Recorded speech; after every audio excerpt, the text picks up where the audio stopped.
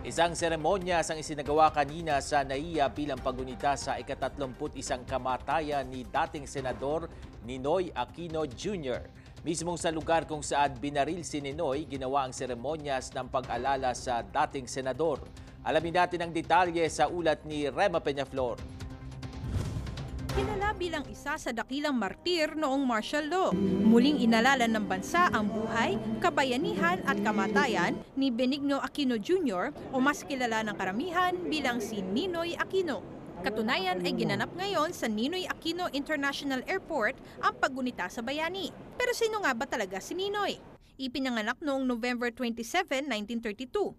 Una nakilala si Aquino bilang correspondent sa Korean War noong siya ay labing pitong taong gulang pa lamang. Nag-umpisa naman ang kanyang karera sa politika noong maging mayor siya sa Concepcion sa kanyang lalawigan sa Tarlac noong siya ay 22 taong gulang at sunod-sunod ang kanyang pag-angat sa posisyon hanggang sa maupo siya bilang senador noong 1967. Si Ninoy Aquino ang pinakabatang senador na maupo sa posisyon sa edad na 34 na taong gulang. Bilang isa sa kritiko ng rehimeng Marcos, kinasuhan siya ng naturang administrasyon ng pagpatay, subversion at maging illegal possession of firearms. Inatake sa puso si Aquino noong 1980 at kinailangan dalhin sa United States para sa pagpapagamot.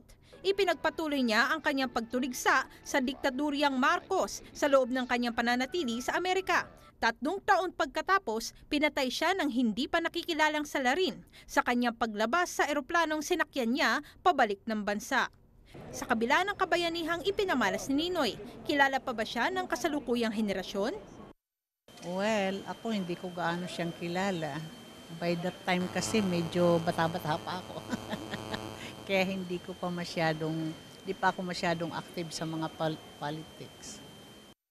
Para sa akin, hindi, parang hindi ko masabi. eh. Kasi may marami akong naririnig na ano eh, na negative about sa kanya. Meron din naman positive. Kaya para sa akin, naguguluhan ako. Pero marami kasing kwento, hindi ko rin alam kung talagang sino at talagang nasa good, ano eh, hindi mo masabi. Pero kasi yung time na yun, hindi pa tayo masyadong involved sa mga politics.